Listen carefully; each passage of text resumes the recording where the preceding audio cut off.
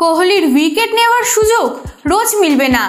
সতীর্থদের তাতালেন জিম্বাবুয়ের captain Ervine. রবিবার মেলবোর্নে বিশ্বকাপে সুপার টুয়েলভের ম্যাচে জিম্বাবুয়ের মুখোমুখি হতে চলেছে ভারতীয় দল। ম্যাচে জিম্বাবুয়েকে হালকাভাবে নেওয়ার কোনো অবকাশ নেই ভারতের কাছে। কারণ এবারের বিশ্বকাপে পাকিস্তানকে হারিয়েছে জিম্বাবুয়ে।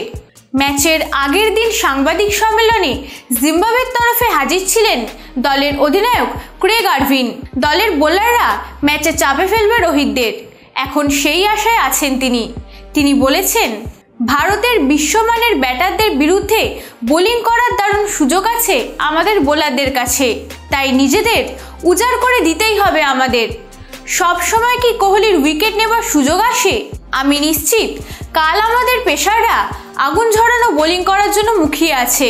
চলতি টি টোয়েন্টি বিশ্বকাপে দুর্দান্ত ছন্দে আছেন কোহলি। ইতিমধ্যে তিনটি হাফ সেঞ্চুরি করে ফেলেছেন তিনি। এই মুহূর্তে বিশ্বকাপে সর্বাধিক রান সংগ্রাহকদের তালিকায় শীর্ষে আছে কোহলির নাম। বাংলাদেশের বিরুদ্ধে খেলাকালীন শ্রীলঙ্কার প্রাক্তন অধিনায়ক কিংবদন্তি ব্যাটার মাহেলা জারভেদানাকে টপকে টি টোয়েন্টি বিশ্বকাপের সবচেয়ে বেশি রানের মালিক হন কোহলি। কোহলির বিরুদ্ধে বিশেষ কোনো পরিকল্পনা সারা নেই তাদের।